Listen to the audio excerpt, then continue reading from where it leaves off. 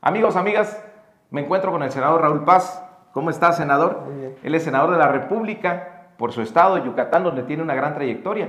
Ha sido diputado local, coordinador de los diputados locales, diputado federal, y lo hemos invitado a que sea el comisionado nacional de enlace con el sector empresarial. Esto es que nos ayude a escuchar a los empresarios, a recoger sus inquietudes, pero también a que les informes lo que ha hecho nuestro presidente con la economía. No ha aumentado los impuestos, se acabaron los gasolinazos, no se ha endeudado al país, se acabaron los privilegios en el gobierno y se combate la corrupción.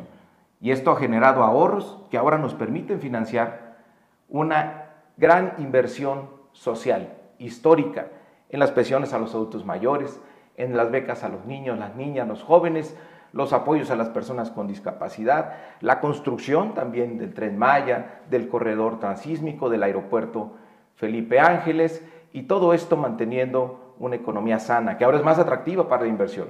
Estamos entre los 10 países con mayor inversión extranjera directa. Así que Raúl, te encargamos que hagas esa tarea que es tan importante. Hay momentos de definiciones en la política.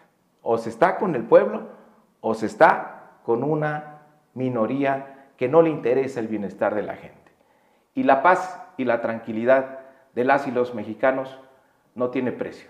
Así que qué bueno, Raúl, que te sumes a este movimiento, a trabajar en favor de la cuarta transformación. Bienvenido. Gracias ya, pues a trabajar sobre todo por los que menos tienen. Gracias.